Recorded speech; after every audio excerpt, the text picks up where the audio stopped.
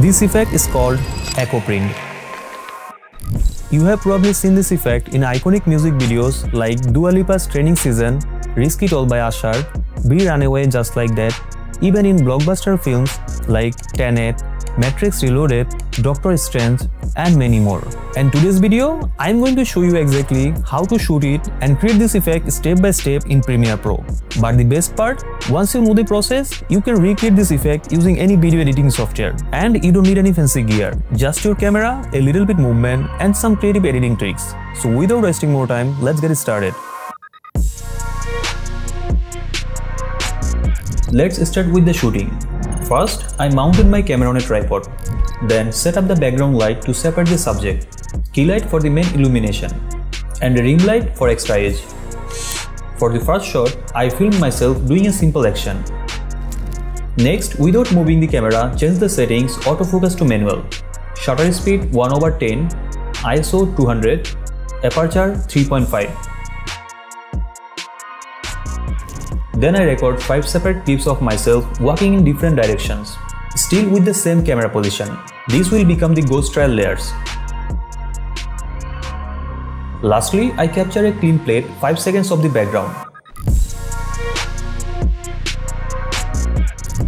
Now import all of the footage in Premiere Pro. Drop the clean background onto the timeline and place the main action shot above this layer.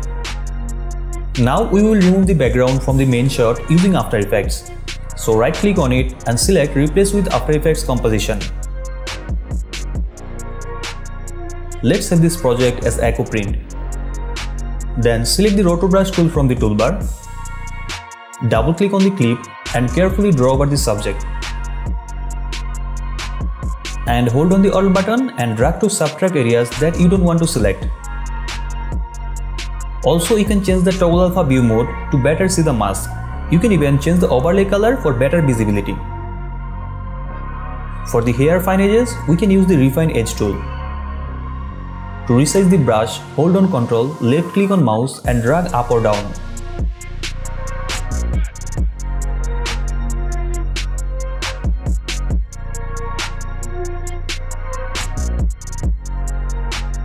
Alright, when the selection is done, let's fine tune the settings.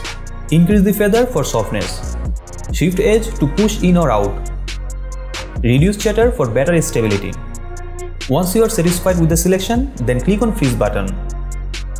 This will analyze and lock the mask across to the entire video. Then switch to toggle alpha mode and click on Ctrl plus S to save it. And it will automatically update back in Premiere Pro.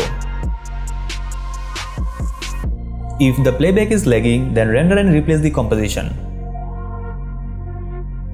Select the format to QuickTime and change the preset to Apple ProRes 4444. Then click on OK. This will render and replace the layer into MP4 format.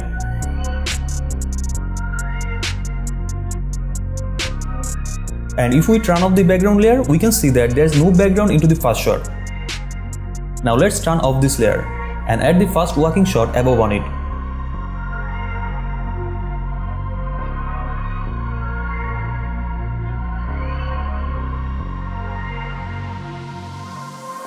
Then move over to the Effect Controls tab, select the Pen tool and draw a mask around the subject. Now click on the mask path stopwatch icon. Move forward 2 frames and adjust the mask path to follow the subject. Repeat this process frame by frame until the subject exits the frame.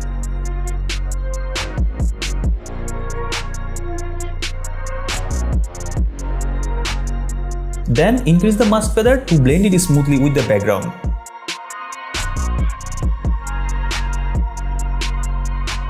Now we can speed up the working motion depending on your preference. And repeat the same masking process for all working clips. Before going to the final step, let me introduce my EditWiz plugin for Adobe Premiere Pro. This summer, say goodbye to your editing struggles. Let's introduce EditWiz the ultimate plugin extension for Adobe Premiere Pro. Edit professional level videos 10x faster, 1000 plus pro elements, endless possibilities. Apply with one click, drag, drop and done. All effects can be easily customized. Works with any resolution. Perfect for beginners, content creators, bloggers, pro video editors, studios, production houses, and everyone. A new era of effortless video editing. Purchase one time and access lifetime. Get EditWiz today and make your videos stand out from the crowd. It's an all-in-one plugin for Adobe Premiere Pro. To get the download link, you can check it out from the description. And I have already made a complete video about this plugin. You can check it out for more detail.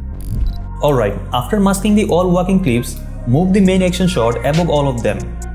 But you can leave one or two working clips above on it to add more depth. To enhance the ghost trail though, duplicate some of the working layers and shift their timing slightly. This stacking adds more realism to the motion blur.